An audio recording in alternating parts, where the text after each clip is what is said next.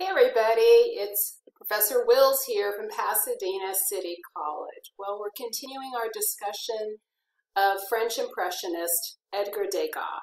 Uh, we've taken a look at um, an example of his painting, the subject of dance in um, his painting of the rehearsal. Uh, let's take a look at something um, that is another study, um, an analysis of the human form, but something even more uh, going on there with this particular artwork. Now it's executed in his favorite medium, which was pastels.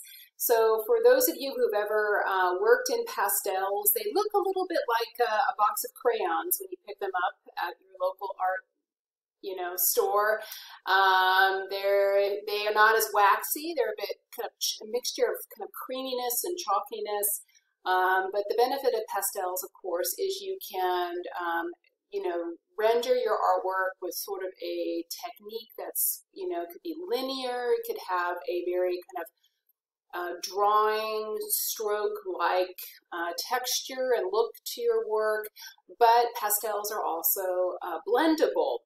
Um, so you could smudge what you've done, blend colors together, layers. So there are other possibilities that excited Degas. And so you find a body of work um, that he executed in that medium. In fact, Pasadena's Norton Simon Museum has a beautiful collection of paintings, um, but also works in pastel by Degas.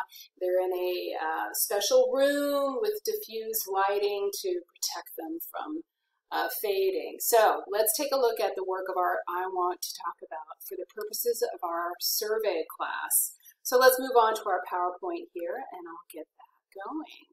Um, minimizing my own headshot here, but here we have the work in question. Um, and it is called The Tub from 1886. So um, again, the medium is pastels. You can see what I'm talking about, this sort of stroke-like linear quality um, that you can see because of that quality of, of pastels. Um, the subject um, seems pretty traditional. It looks like, you know, one of those studies one would execute in a life drawing class. Um, a view um, of a female figure seemingly washing herself herself, you know, in the in the days before plumbing, um, in a large uh, wash basin or tub, um, looking down um, at, away from us, the viewer. It's not a portrait or anything like that. So we were the focus of her face, her individuality, her emotions, that kind of thing is not uh, what is the focus for the artist. Instead, we're looking down from above at her um, form. Um, what you can see is Degas is rendering her in a pretty, pretty traditional um, Western approach to art. You find that he's using chiaroscuro. We have a you know a subtle mix of highlights and shadows to um, describe an illusion of mass and volume um, in this study of the human body, seemingly. But there's more going on here, as I promised, than just um, a study of a, of a woman at the tub.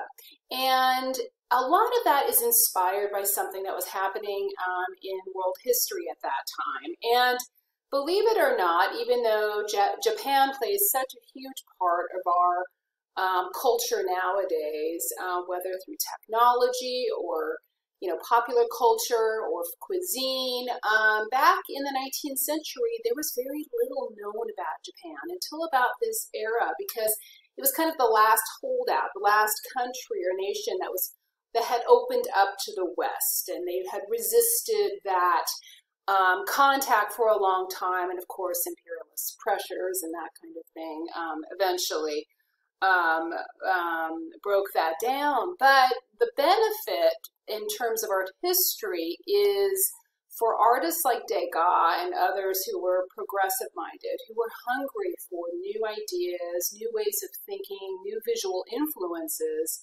um, what emerged out of Japan and the whole rage for all things Japanese called Japanisme um, um, where all the decorative arts of, of Japan really um, inspired a myriad of fashions and furniture and um, and fine arts. the one thing in particular that was exported um, in large amounts because it was small and affordable was something called the Japanese woodblock print. Uh, these were relatively, um, you know, small in size, maybe 12 to, you know, the max, maybe 18 inches in height.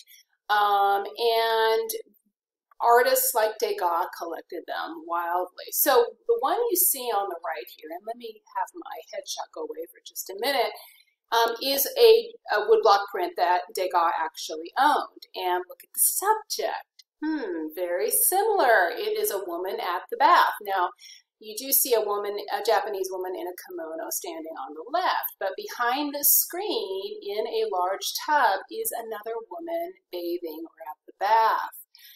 What would have excited about been exciting in terms of aesthetics to Degas is the fact that Japan followed its own path. It had its own um, evolution in art history that had nothing to do with what would have been drilled into 19th century artists who attended, for instance, the you know France's Royal Academy of Art. You know, the Japanese had no idea about Western art history. They would have had no concern for what happened in the Greco-Roman world or the Renaissance, etc. Their path was unique.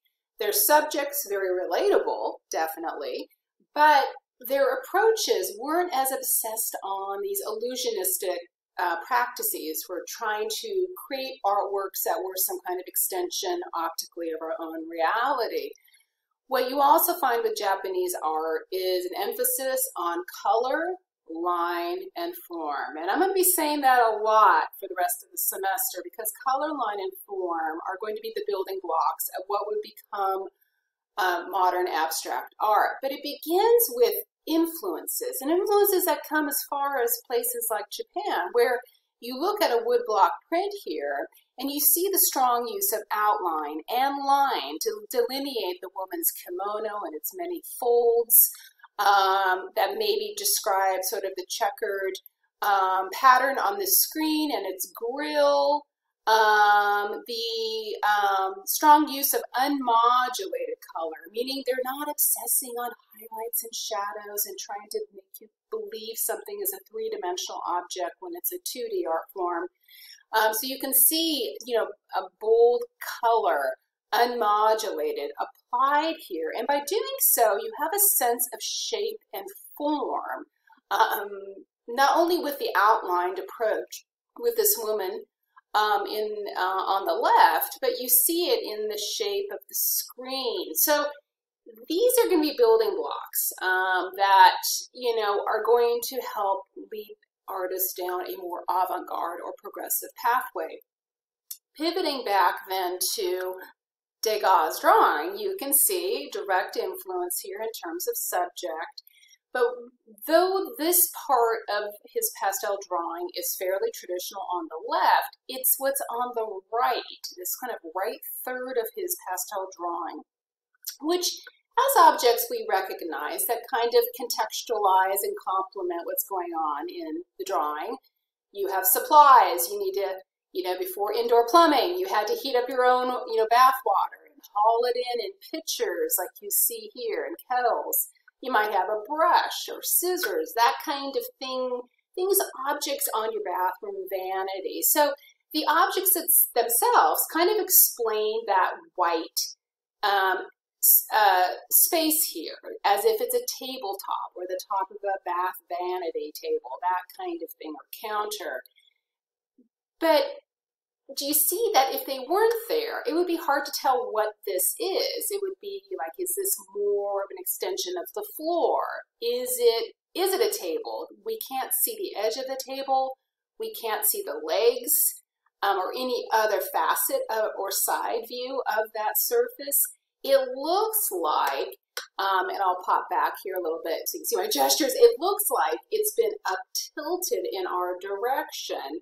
Um, so much so that it almost looks like that table is um, parallel to the picture plane itself, and those objects should slide right off like they're, you know, mount, standing on ice. this is what Japanese aesthetics um, and art history is doing to open the eyes for artists like Degas. Um, by doing that, by making a, you know, by being less bound to a convincing uh, rendition of an optical reality, at least on the, the right side of this drawing, with an emphasis on form and shape, with this kind of curved bulbous shape of these pictures and the hairbrush.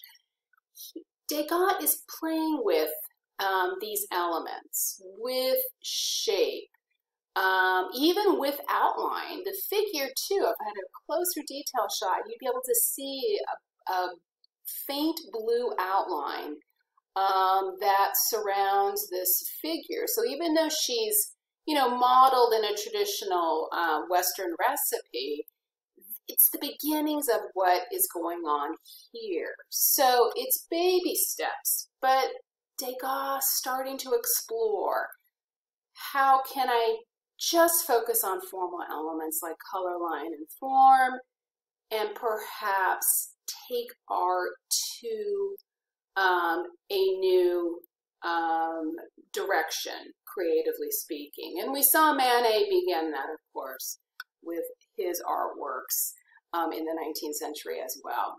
All right, that's it for now. Thanks for tuning in. Degas, influenced by the arts of Japan. Course, this will have a huge impact on our next artist, Mary Cassatt, and the Post-Impressionists coming up soon. Thanks.